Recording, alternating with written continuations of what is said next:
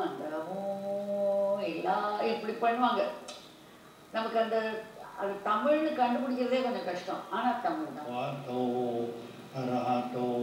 சம்மா தேவாரம் திருவாசகம் திருப்பாவை திருவம்பாவை இந்த நான்கு பக்தி இலக்கியங்களும் தாய்மொழியில் தாய்மொழியில் மொழிபெயர்க்கல தாய்மொழியில் எழுதி வச்சுக்கிட்டாங்க தமிழ்லேயே.